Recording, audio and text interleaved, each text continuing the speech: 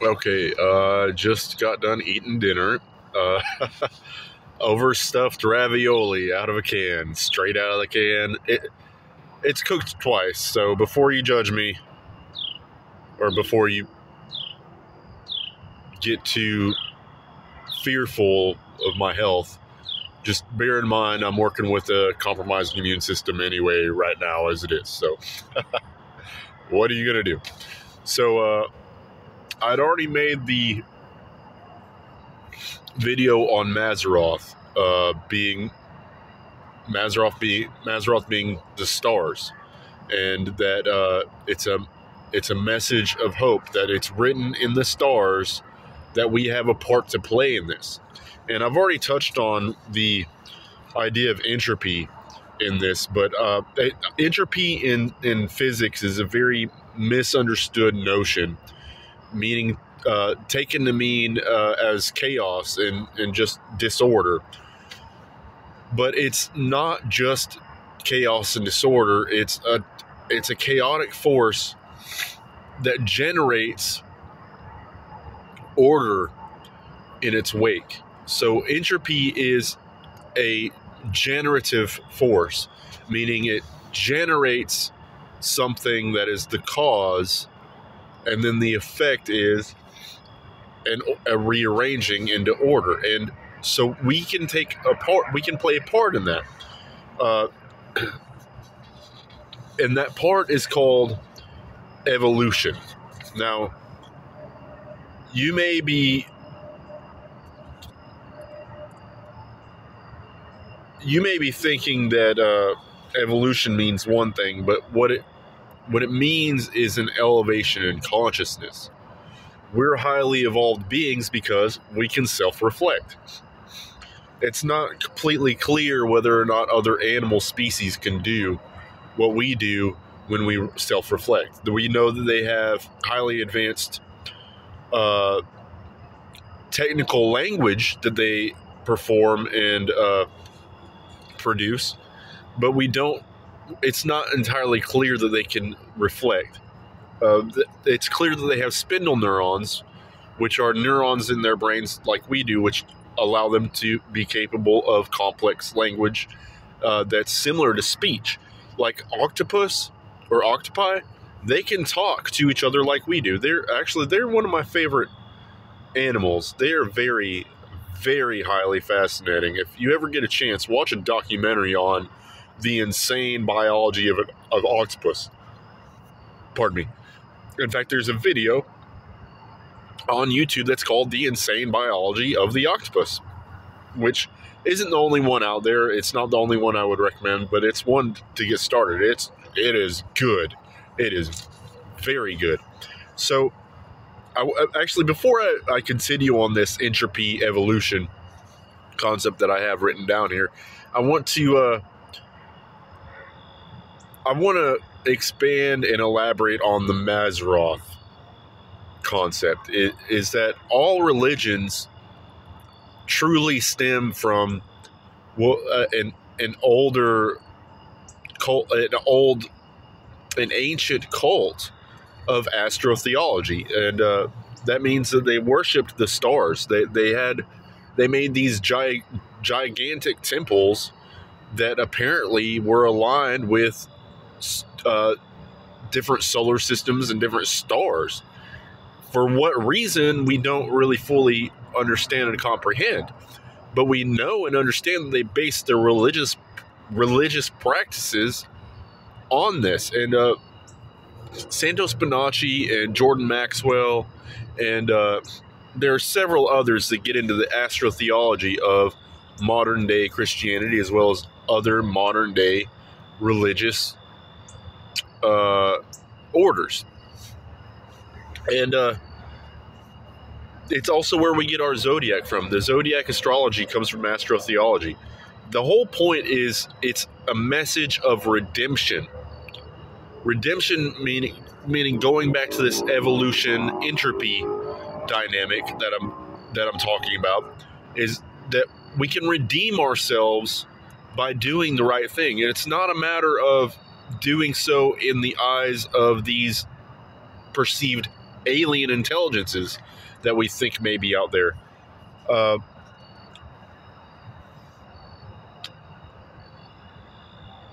it's it's it's basically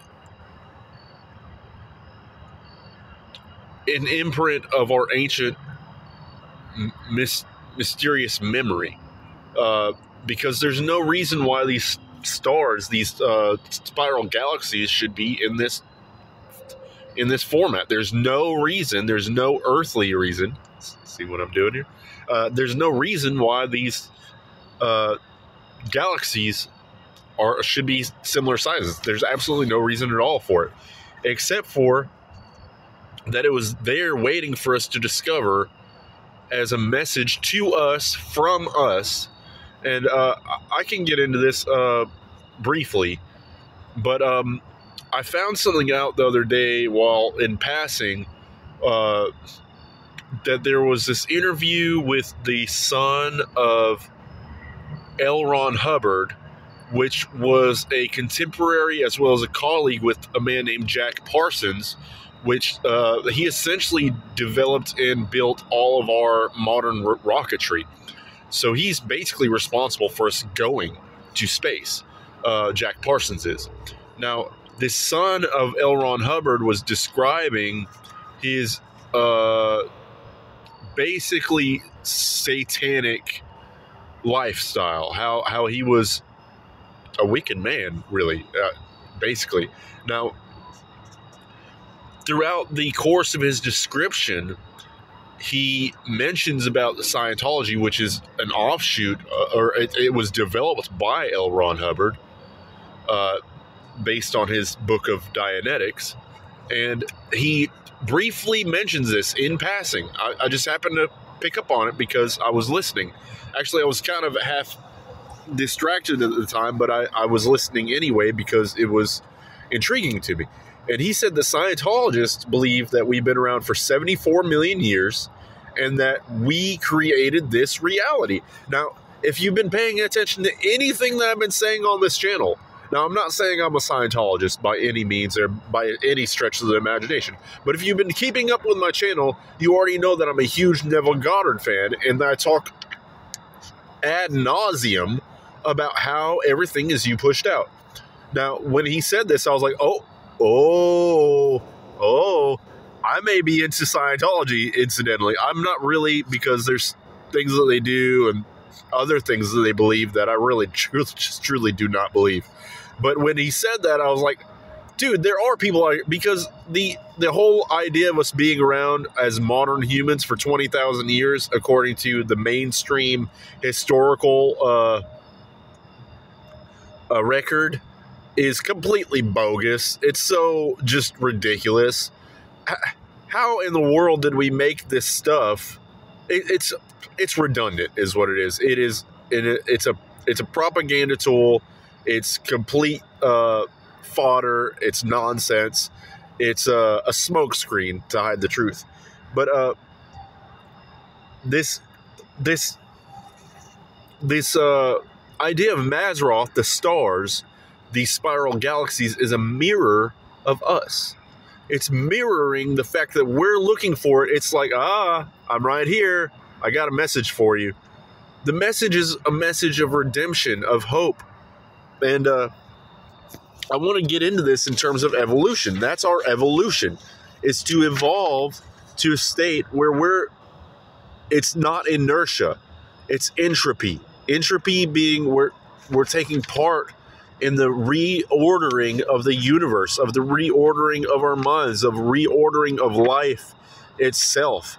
Now, evolution is one term that you've probably heard of that I'm going to mention. Another term that you've probably never heard of, which I I personally got from a man named Mark Passio, which I've also already mentioned. You need to check him out. Check Mark Passio out. He is a genius. Of course, he he could stand to see things a little bit deeper like Neville Goddard does, but I'm not I'm not chastising or criticizing him for that for that purpose because we still have a tangible reality that we have to deal with. and that's what he approaches his entire subject line uh,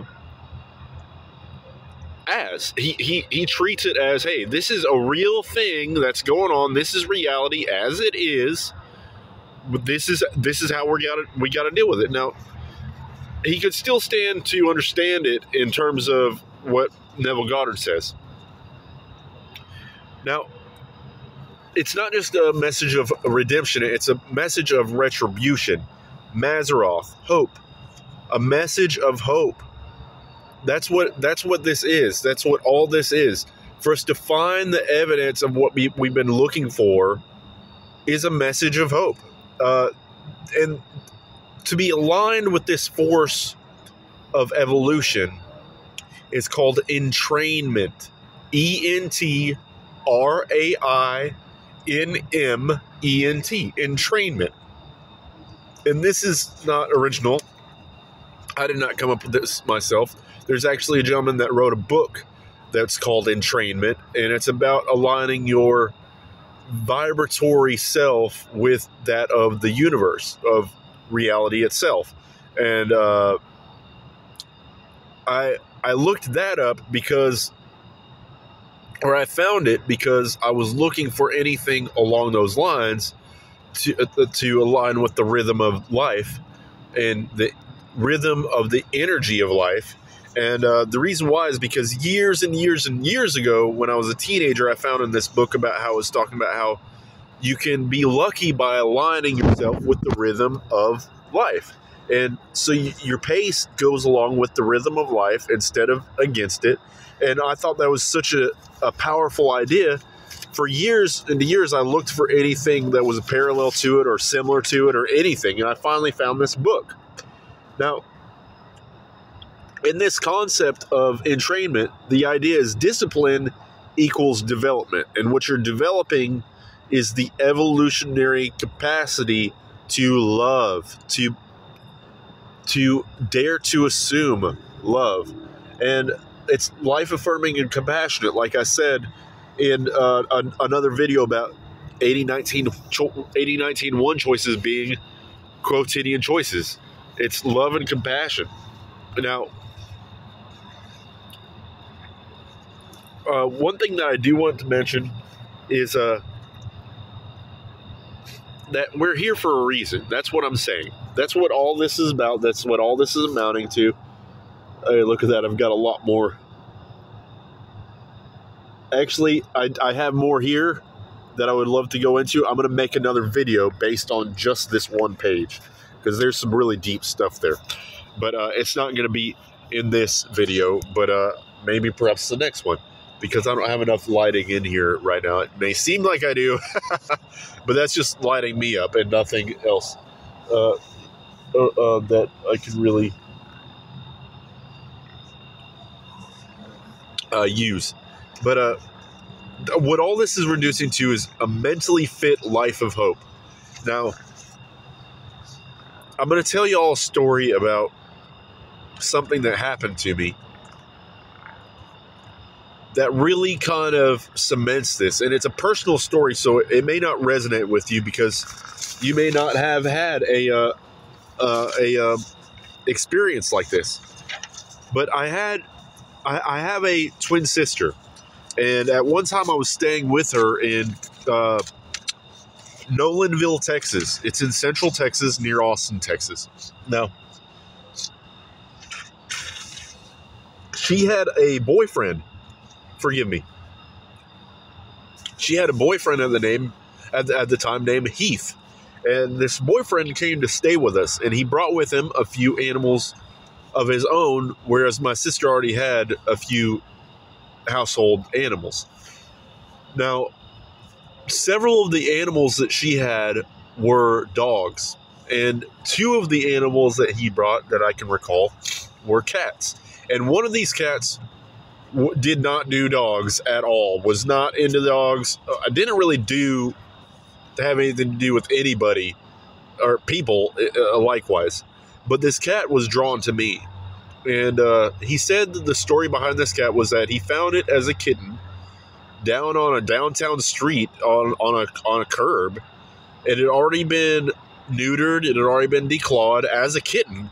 So someone had already taken the time and the money and the effort to uh, do these procedures, and then apparently just left the cat out. Well, he he named this cat Salem, and when he came to stay with us, the cat was so drawn to me, it would always come into my room, and uh, he, it just kind of gravitated toward me, and so it was. It just kind of naturally occurred that this guy gifted me with this cat. Well, sadly, uh, throughout the course of events, I, I lost the cat over time. It, it was really a heart a heartbreak. But this cat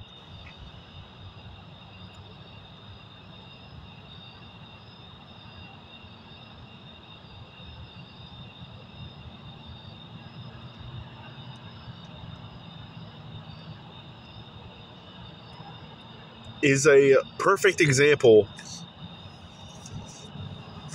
of what Donald Hoffman in his data structure theory uh, when he talks about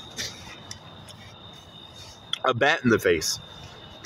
He, he he talks about his data structure theory and he says, now a bat flying in your face is that a bat flying in your face. Well, this was a cat that came into my life that changed.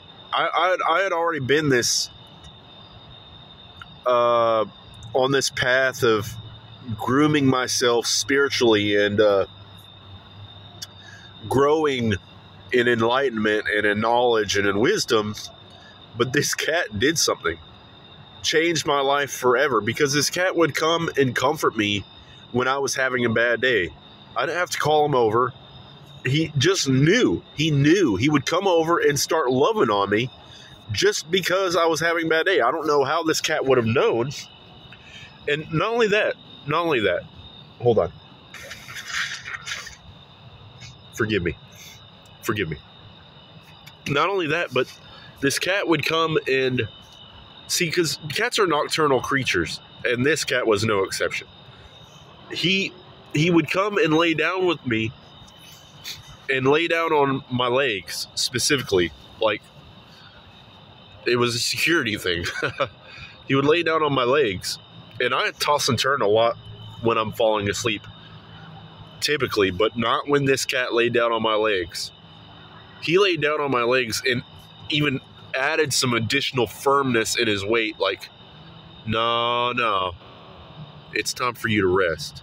And that's what this cat would do every night.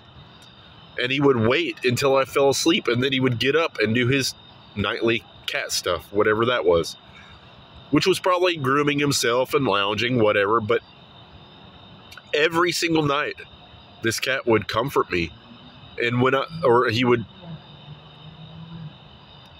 uh, tuck me in at night, uh, if you think of it like that. So th- this is a perfect example for me that there are things that happen in the world and in your life that will wake you up to the reality that it's not all as what it seems. This cat opened my eyes to a world that I didn't know existed before, that there was such thing as love, even though this is a, across species in the animal kingdom. Of course, there was another animal there that I really bonded with, which was uh, a, a dog named Simon, and he he passed sadly.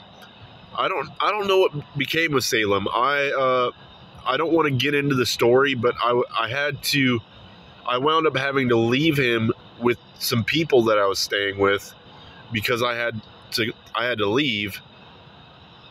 Excuse me, and uh, I don't know whether they kept the cat or not. It's it's just a really sad ordeal. Uh, but I can't put it into words how this applies. But if you're following me and if you're paying attention, then maybe perhaps you'll understand.